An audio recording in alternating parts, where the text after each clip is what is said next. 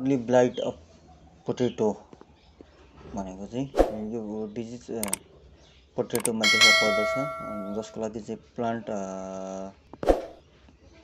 Up to three विक्ससम्मको हुँदाखेरि disease देखा पर्छ। ब्लाइट डिजिज अन्तर्गतको यो अर्ली ब्लाइट चाहिँ लेट ब्लाइटभन्दा फरक किसिमको अर्ली ब्लाइट डिजिज चाहिँ प्याथोजेन अल्टरनेरिया सोलानीले गराउँछ भने लेट ब्लाइट चाहिँ फाइट अफ थ्रा इन्फेस्टेसनले गराउँछ। जुन अर्लियर भएको हुनाले अर्ली ब्लाइट पटेटोले चाहिँ डिफ्रेन्ट किसिमको वेल डिफाइन सिम्टमहरू देखाउँछ। जस अन्तर्गत लिफ स्पट चाहिँ लिफमा देखा पर्दछ र त्यो ग्रो हुँदै यसले चाहिँ लिफको बिगर पोर्सनलाई पनि कभर गर्ने काम गर्दछ या त इन्टायर लिप्सलाई जसलाई चाहिँ ब्लाइट भन्ने गरिन्छ।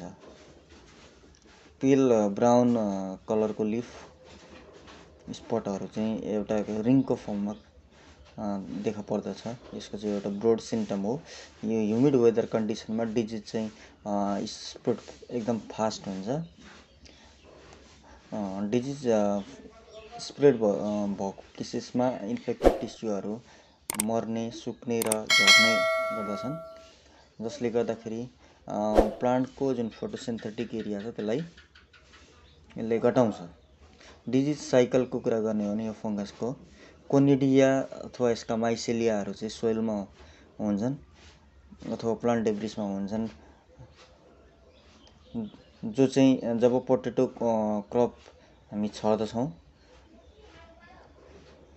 त्यस त्यस पछाडि लिभ्सहरू चाहिँ यसका फर्म हुन्छन् र कोनेडियाहरू चाहिँ लिभ्स हुँदै विन्ड थ्रु यिनीहरू जर्मिनेट हुन्छन् हावाको थ्रु जर्मिनेट हुन्छ जम ट्युब्सहरू बन्छ अनि जम ट्युब्स लिभ्स थ्रु चाहिँ स्टोमाटा लिभ्समा चाहिँ स्टोमाटा थ्रु पुग्छ र जुन इपिडर्मिस हुन्छ त्यसलाई चाहिँ पेनिट्रेट गर्ने काम गर्दछ।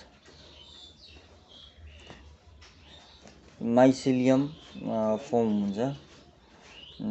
इन्ट्रासेलुलर माइसेलियम माइसेलियमले चाहिँ इन्जाइम सेक्रेट गर्छ टक्सिन सेक्रेट गर्छ जसले गर्दाखेरि चाहिँ सेललाई चाहिँ किल गर्ने काम गर्दछ।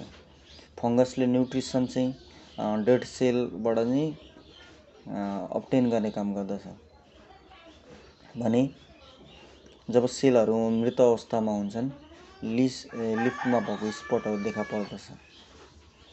क्ल्याबिट जुन कोनेडिया छ तिनीहरूमा ट्रान्सवर्स र लङ्गिचुडनल सेप्टाहरू चाहिँ देखिन्छ। कोनिडियो स्पोरहरूले चाहिँ एउटा नि लाइक स्वेलिङ भनेको गुणा जस्तो स्वेलिङ एपियरेन्स देखाउँछ। जसको कारणले गर्दाखेरि कोनिडियाबाट डिट्याच हुन्छ। कोनिडियाहरूलाई चाहिँ हावाको माध्यमद्वारा चाहिँ यो डिसिमिनेटर छरिन्छ र डिजिज स्प्रेड हुन्छ धेरै प्लान्टमा। होस्ट प्लान्टको एब्सेन्समा के हुन्छ भने यसका हाइफी कोनेडियाहरू चाहिँ फलिन लिफ टिस्युहरूमा रहन्छन्। कन्ट्रोल मेजरको कुरा गर्ने हो भने फिल्ड सेनिटेसन रोड र क्रप रोटेसन गर्दाखेरि यसलाई कन्ट्रोल गर्न सकिन्छ।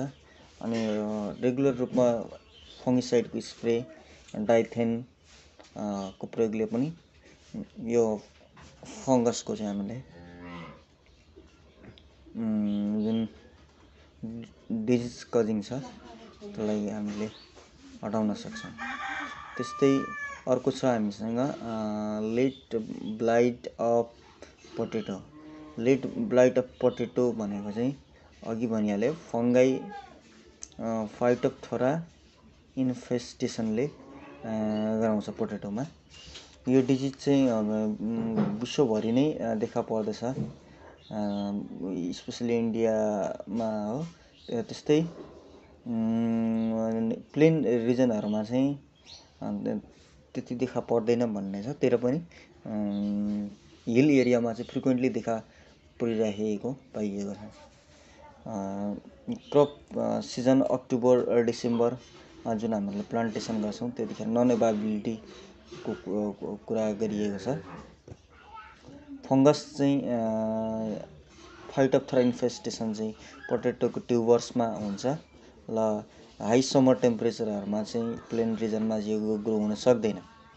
त्यसैले डिजिजको जुन अकरेन्स छ सिडबाट नै देखा पर्दछ जुन सिडहरू चाहिँ कोल्ड स्टोरेजमा राखेका हुन्छौँ लेट ब्लाइट डिजिज नाम किन दिएको भन्दाखेरि अर्को अर्ली ब्लाइटको तुलनामा चाहिँ यो चाहिँ लेट सिजनमा देखा पर्दछ। ब्राउन स्पटहरू अर्ली ब्लाइटको जस्तो देखा पर्दछ तर फ्लावरिङ स्टेजमा जो चाहिँ एकदमै धेरै फास्ट ग्रो हुन्छन् र इन्टायर लिफको फोइलेजलाई पनि कभर गर्ने काम गर्दछ। यसको इन्फेक्सनहरू जुन